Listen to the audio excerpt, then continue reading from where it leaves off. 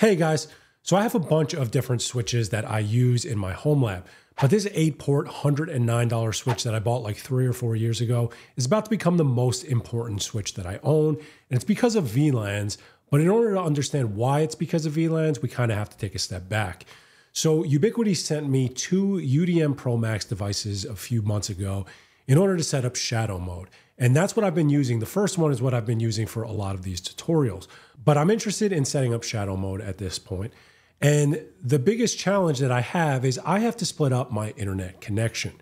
So the easiest way if you have one ISP connection is to use an unmanaged switch. Basically, you plug the ISP connection directly into an unmanaged switch, and then you'd go in and plug in two of the other ports into the primary UDM and the secondary UDM. Now, with two internet connections, you can basically do the same exact thing using two different unmanaged switches.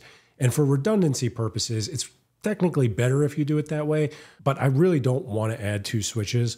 So what I'm going to be doing is I'm going to be using an 8-port switch with VLANs. And basically what we're going to do is configure that 8-port switch to have two different internet VLANs, one for the primary and one for the secondary. And then at that point, I'd plug the primary into one port, the secondary into the other, configure two ports for each internet connection, and then plug those two ports directly into the UniFi firewalls.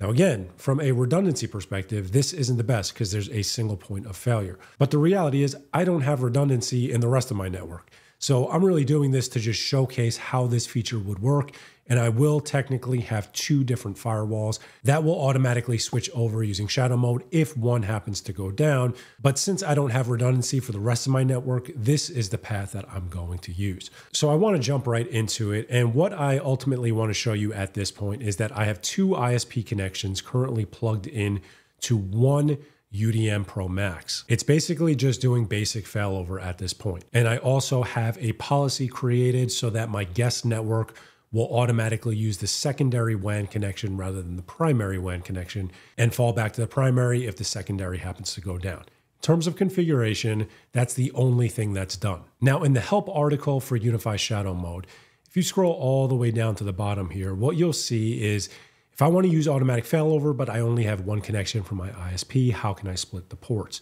And what they recommend you do if you're using a UniFi switch is to create a new VLAN and set the router to third party gateway.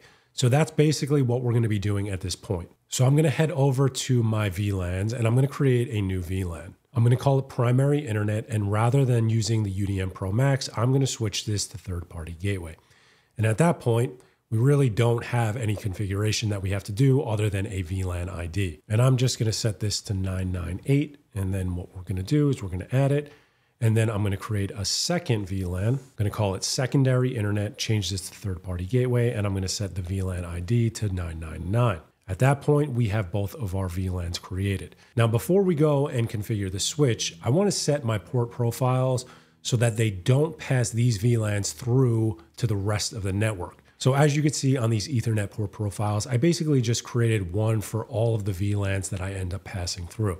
And this makes this step very easy because at this point, I don't have to go back to all of the ports and manually configure them. I'll just change it here and then it will automatically update all of my ports. Now I have this step in a video. If you're interested in seeing it, I'll leave a pop up for that now. But basically, the first one we have to modify is this management. And currently, it's allowing everything because this is what's used for my switches, access points, and stuff like that. So we're no longer going to be able to do that. So what we're going to have to do is rather than select allow all, we're going to select custom, and then we're basically going to pass through everything except for the primary and the secondary internet. I don't want anything from the switch level down to be able to tag these VLANs. I'm going to save that, and then I'm going to apply the changes. Now, these other ones, surveillance is set to block all, IoT is set to block all, as well as the development VLAN. The only other one that's set to custom is trusted.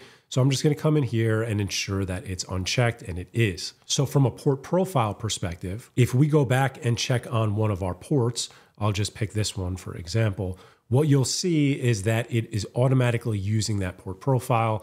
And at this point, it is configured with only the VLANs that we want to pass through to it rather than everything.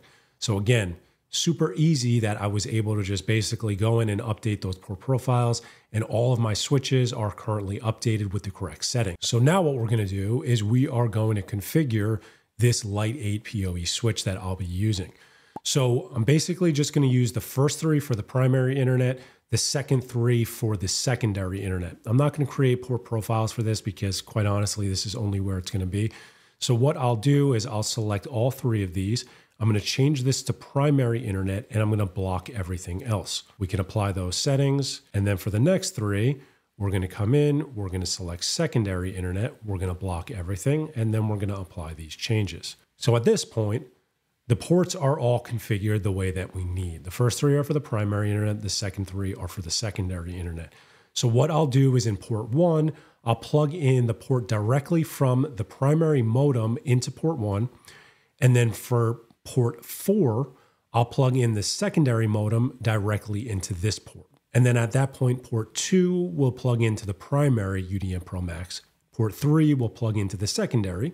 And then for ports five and six, they'll be the backup lines for the UDM Pro Max devices, which I set to port eight on those devices. So we're gonna start to configure shadow mode. And all I did at this point is basically just go in and plug in port one on the primary UDM Pro Max to the WAN port on the secondary Pro Max. And now that I did that, I can come into the control plane for the primary Pro Max and click to set up shadow mode. And then at that point, it will start to sync, which is what it's currently doing. Okay, so as soon as it finishes syncing, what we can do is enable automatic failover. And as soon as we do that, there's a few changes we're gonna have to make, but this will basically walk us through that process. So we're gonna select enable automatic failover and it'll start to prepare. And then what you're gonna see is we have to go in and plug in port seven to port seven. So that's what I'm gonna do right now. Okay, so I just plugged those in. And then at this point, we're gonna select verify to ensure it's all configured properly, and it is.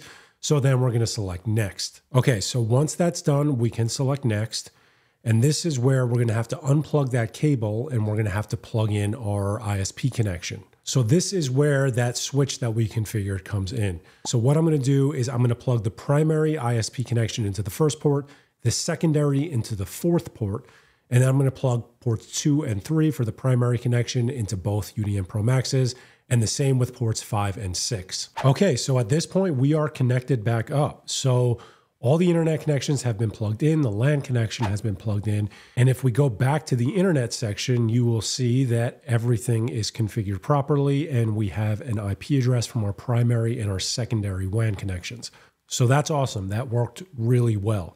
So what we're going to try to do at this point is try and simulate a failover. Okay, so at this point, we're just going to test everything out. So I have a constant ping going to Google's DNS server and I'm just going to run downstairs and basically just unplug the primary UDM Pro Max. Okay, so it is currently unplugged. We're going to see a few dropped connections here.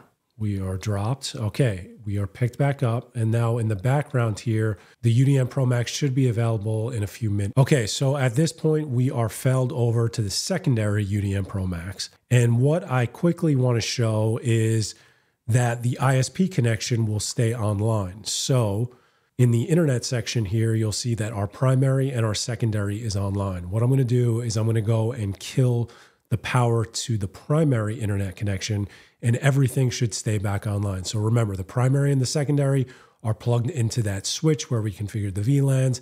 I'm going to unplug the primary and the secondary should stay online. Okay, so the internet connection's down. You see the uptime just dropped. I should have seen this status here. So in the status for the primary internet connection, you could see that it's unavailable.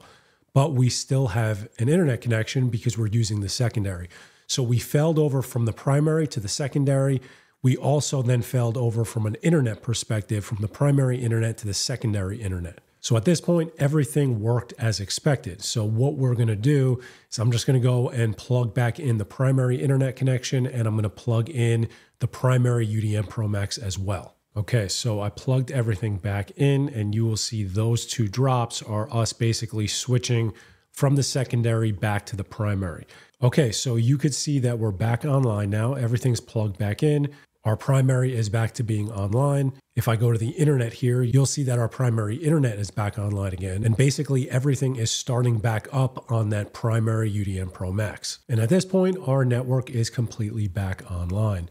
So we had a successful failover test and a successful fail back to the primary UDM Pro Max. So a few notes that I think are important to be aware of. The first is that the secondary UDM Pro Max, when you fail over to it, it's in read-only mode. So any changes that you make won't actually sync back to the primary as soon as it's back online. That's the first thing. The second thing is that the very first thing to come back online is going to be your internet connection.